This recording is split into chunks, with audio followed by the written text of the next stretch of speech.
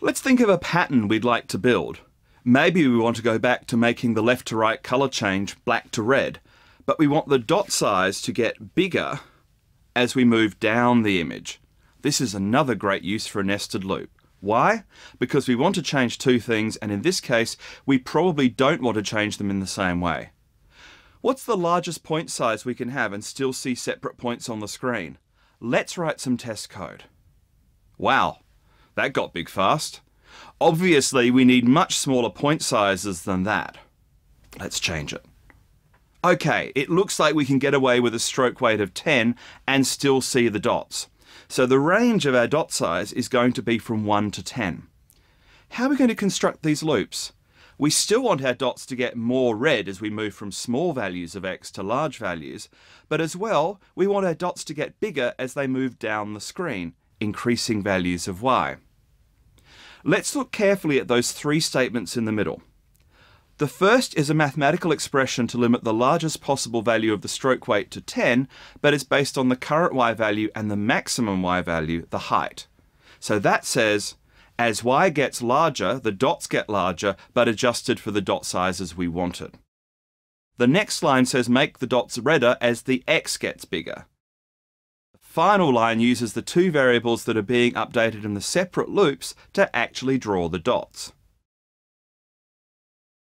Looking at the image, some of you will be wondering if all the sizes are changing the same way. Yes, they are.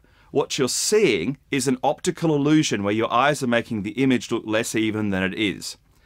If you look closely at any individual section, you'll see that the dots are the right size. It's just when you try to look at the whole image that your eyes get confused. You don't have to put all the code statements inside the nested loop, and we can show you what happens by moving some of them outside. This is also going to show you how the values change. If you look at the stroke x00 statement, you'll realize it only changes when x does. So there's actually no need for it to be inside the while loop. So we can do this.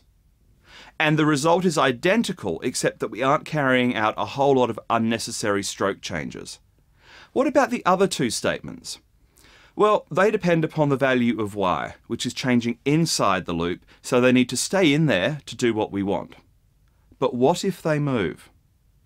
For reasons that will become clearer later on, I'm going to make a change to the code to allow me to move some code around. What do you think will happen when this code runs? Well, we get this result. Wow, we seem to have one column of tiny dots on the far left and then everything else is the largest value. What happened? What happened here helps you to understand how loop updates work in a nested loop. On the first pass through the X loop, Y has the value 0, and this sets the tiny stroke weight. But then we hit the Y loop, and that Y loop is going to keep iterating until Y hits its maximum value. Then it will stop, and then we get to the end of the X loop, do the update, and go back up to check the condition. But the Y value is still set to the value that caused the old Y condition to stop. When we have nested loops, the loop inside must finish before we pass control back to the outside loop. Now let's go and practice some of this.